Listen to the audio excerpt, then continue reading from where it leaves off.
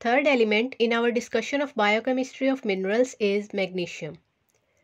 An adult body contains about 20 gram of magnesium, 70% of which is found in bones. The remaining 30% is in soft tissues and body fluids. Magnesium is found in cereals, nuts, beans, vegetables like cabbage and cauliflower, meat, milk, and fruits. When we look into the biochemical functions, magnesium is required for the formation of bones and teeth.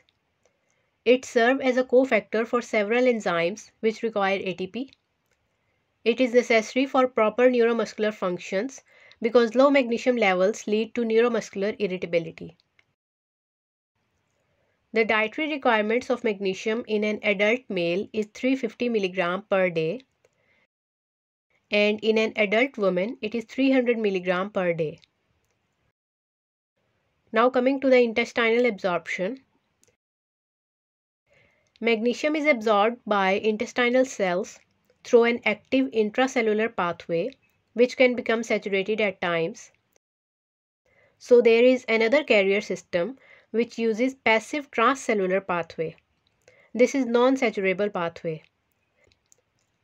Parathyroid hormone promote magnesium absorption. Normal serum concentration of magnesium is 2 to 3 mg per deciliter. Abnormally low levels of magnesium can cause neuromuscular irritation, weakness, and convulsions.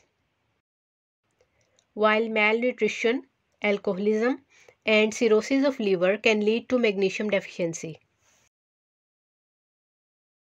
If you have any questions, feel free to ask. Thank you so much.